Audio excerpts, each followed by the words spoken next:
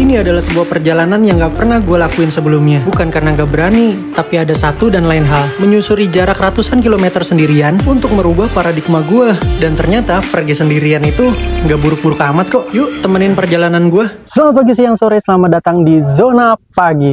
Oke cuy, kali ini gue mau ngetrip nih. Jadi hari ini gue ada rencana road trip ke Semarang dari Bogor naik si marmot. So buat kalian yang penasaran banget ceritanya, karena gue di sana juga akan uh, spill-spill berapa konsumsi bahan bakar yang digunakan uh, sama perjalanan gue dari Bogor ke Semarang. So stay tune di vlog ini. Gue udah reset untuk MID-nya ya. Nah ini kilometernya per liter udah nol dan jarak rata-rata udah nol. Sekarang jam 6 jam setengah tiga ke setengah tujuh dan indikator bensin nanti kita fullin Oke, perjalanan kali ini gue mau share buat kalian sekaligus untuk menjawab rasa penasaran gue. Menurut gue ini Brio tuh enakin banget gue kalau nyetir mobil ini kayak nggak berasa capek gitu. Dan juga soal kehematannya cuy. Makanya gue penasaran banget nih pengen ngetes berapa sih konsumsi bahan bakar dari Bogor sampai Semarang. Nah untuk itu langsung gue full tankin aja nih tankinya. Oke teman-teman tadi kita habis selesai ngisi bensin dan ternyata dari hampir seperempat tadi untuk Brio gua ngabisin total 28 liter dengan harga 284.640. Nah, nanti kita cek nih dengan biaya 28 liter apakah bisa sampai Semarang atau enggak. Menarik karena gue orang yang ngopi banget ya kan. Nah ini juga kopi favorit gue cuy. Seriesnya yang kenangan mantan. Entah kenapa ya rasanya tuh kayak bikin happy gitu. Makanya sebelum road trip dan untuk melengkapi kebahagiaan gue, gue sertakan kopi kenangan mantan ini buat di perjalanan gue.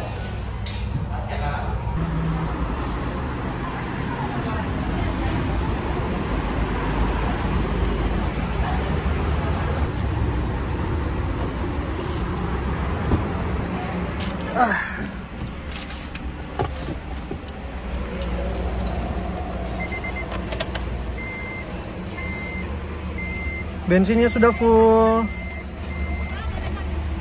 let's go Oke, kita lanjut. Perjalanan berawal dari Citerep cuy, memang bukan Bogor. Lalu gua keluar di Cawang dan masuk tol Cikampek. Selanjutnya tol MBZ, Cipali, Palikanci, dalam kesatuan tol Trans Jawa. Ya cuy, sekarang gue udah ada di tol MBZ dan arus lalu lintas untuk menuju tol Trans Jawa ini kurang lebih nggak begitu padat ya karena bisa dilihat lalu lalang mobilnya itu masih ada gap jarang dan gue tetap berada di jalur kiri di 80 km per jam. Uh, pemandangan pagi ini memang luar biasa terlihat sejuk gitu ya. Uh nggak sabar nih. Segera sampai Semarang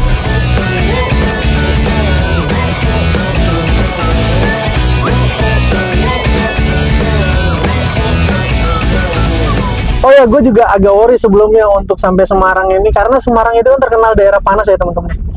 Dan Bogor bahkan Bogor pun di dua minggu akhir-akhir ini, jadi setelah video ini diupload itu dalam dua minggu ke belakang itu panasnya siang-siang luar biasa. Dan nggak tahu juga nih Semarang nih kayak gimana. So tetap ikutin perjalanan gue karena gue jalannya memang sendirian, jadi kalian punya kewajiban buat nemenin gue sepanjang perjalanan. Oke, perjalanan ini bukan hanya sekadar healing. Gue bocorin aja deh rencana gue. Jadi gue tuh ada kepengenan buat masang peredam nih di Brio. Nah bengkelnya itu jauh-jauh cuy di Semarang. Nah yang penasaran jangan lupa subscribe cuy. Waduh, kenapa nih tiba-tiba padat? Nah ketahuan kan belum subscribe? Ayo dong di subscribe biar gue makin semangat nih kontennya.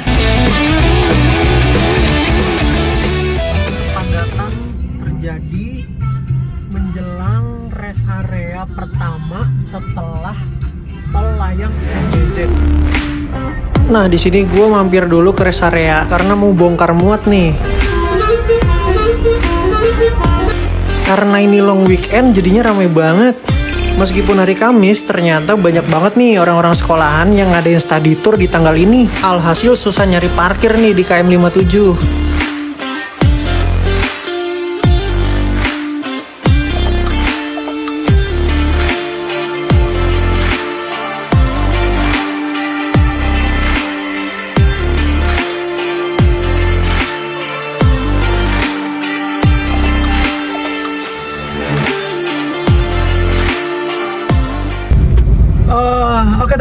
Posisi sekarang gue ada di rest area kedua tol Cipali. Jadi ini gue udah memasuki tol Cipali dan kilometernya kira-kira kilometer sekian. Nah ini kondisi macet cuy, gue juga nggak ngerti ini kenapa macet. Dan sepanjang jalan ini yang gue lihat ini ada konstruksi pembangunan di bagian sisi kanan jalan. Jadi menurut gue, karena gue juga nggak tahu nih ya macetnya karena apa. Jadi karena mungkin ada penyempitan di uh, pembangunan itu. Oh ya, update untuk kilometer sekarang ini gue berada di 115,8 km dan konsumsi bahan bakarnya ini 22 km per liter. Wow irit banget. Dan jarumnya sekarang masih full. Menarik. Brio irit irit irit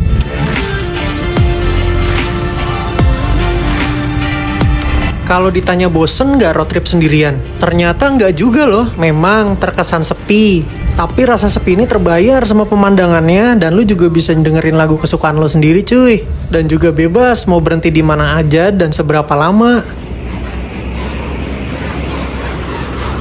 Aja, ini udah nyampe di Cirebon. Jadi ceritanya udah nyampe Cirebon di KM sekian. Dan kondisi saat ini lumayan rame jadi ternyata liburan kali ini gak hanya gue doang yang liburan, tapi juga banyak banget orang yang liburan cuy. Termasuk di sebelah sana ada ibu-ibu yang tempong banget pengen tiktokan. Oh ya, ini gue tadi habis ke toilet, terus kita mau ngecek nih berapa konsumsi bahan bakar yang saat ini udah dicapai. Oke. Kita nyalain dulu sip. Ah, kita masuk. Sip mantap. Ini dia konsumsi bahan bakar saat ini 22 km per liter cuy. Dengan bensin tadi full tank kan ya berangkat ya. Lalu kita sudah menempuh perjalanan sejauh 236,5 km